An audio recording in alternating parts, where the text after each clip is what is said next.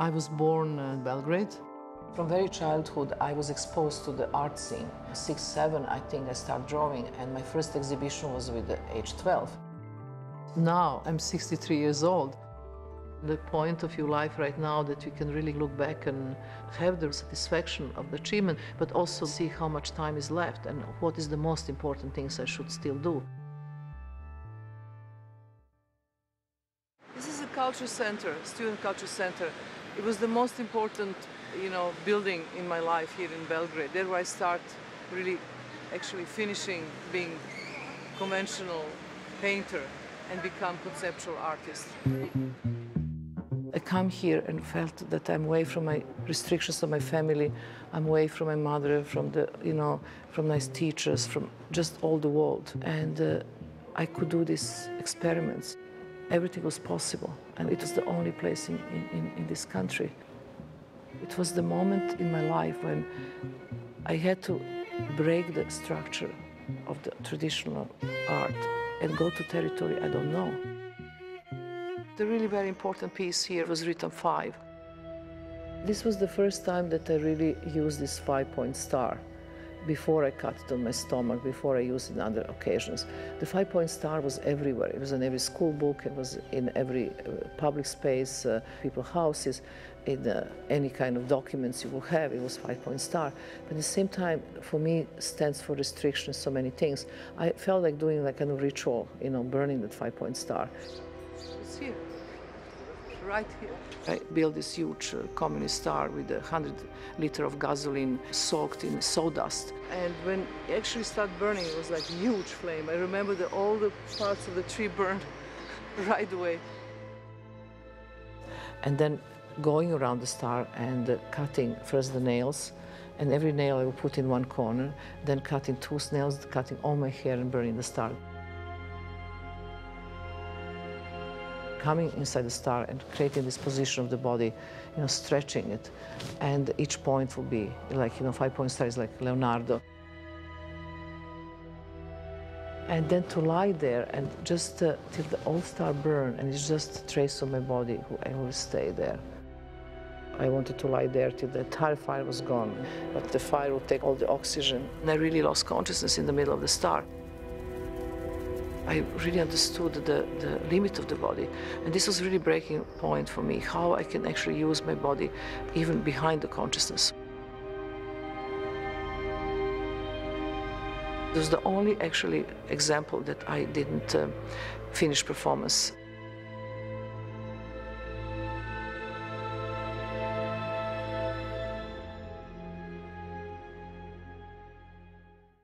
When I really start working with performances, nobody called art and everybody ridicule. And my mother was thinking I'm crazy, that I should go to hospital or there's something wrong with me. She was always thinking that I'm doing something wrong here, and she absolutely hated this uh, total control of my mother, total obsessional discipline which I had opposed of me, I had to have my own space. I have to kind of let it free. So the Student Culture Center was that kind of island of freedom that I will escape. I was so incredibly unhappy as a child. It was a hell, constant hell. My mother was obsessed by cleaning. Everything had to be clean. When I was a kid, um, everybody who wanted to visit me have to have the mask and to have to wash the hands. And I was crazy about washing hands hundreds of times of the day. Every time she would tell to me and my brother, bathroom is free. It means that we have to go and wash the hands. And uh, that even if I slept, that the bed have to be straight. My father come home very late, my mother, they always fight. We never sit together as a family, we never talk together, we never had any kind of Christmas, New Year together. It was always very unpleasant and very tense situation.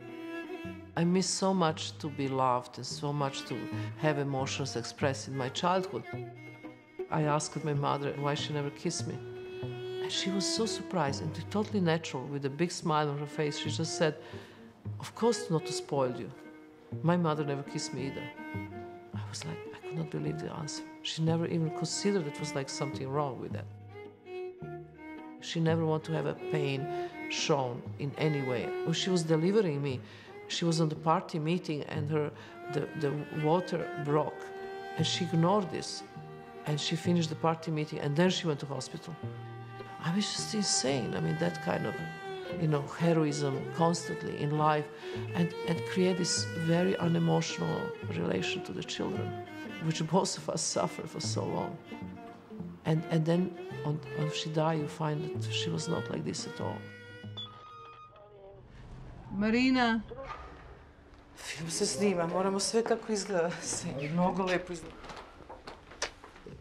Uh, we are in the apartment of my uh, youngest um, sister of my mother, Ksenia Martinovic. She's the only one actually alive from, from the whole family. Vrlo žustra, precizna, tačna. Podnosila je i teškoću. I bol. I bol. To si ti nasledili. Pet razreda gimnazije završila u Sremčnim Karlovcima. Tada su u joj umro otac i stričevi, vratila se u Pljevlja i nastavila je gimnaziju. I u, to, i u sedmom razredu gimnazije bio je štrajk đaka. Tada je bio već pokret parti, komunistički. Da, da. I ona je štrajkova. A ona se otišla je u partizane, iako je vernik bila, iako je imala strica tako, otišla je da brani otačbinu. Nije se borila protiv Boga, nego protiv fašizma. Svih sedam neprijateljskih ofenziva i dva puta je ranjala. Nije imala ni tri godine. Kad je dve i po, tri godine, kad je baba morala da ide, majka je radila, otac radio, a baba je morala da ode da kupi, da nabavi hranu, te su teške godine bile, posle rata, pa nije imala kome da je ostavi. Ostavljala je samu. I ovako je kaže, Marina, nemoj da šetaš po kući, nemoj ništa da radiš. Ostavi, evo ti, ostavila sam ti vodu i nemoj da se mičeš. Baba ostane u redovima, čeka po dva do tri sata, vrati se, zatekne Marinu na istom mestu gde je ostavila, čak ni vodu nije pila.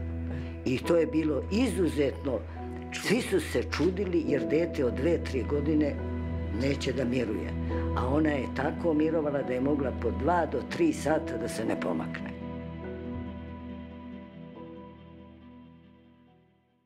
Moja majka je ostala udovica od 32 godine sa četvoro dece, kad su njih trojica umrli. Da. Ona nas nije smazila, nego nas je vaspitavala. I moja majka, možeš reći, kad smo je pitali kasnije, kad smo odrasli, Je. kako nas mama nikad nisi ljubila i mazila?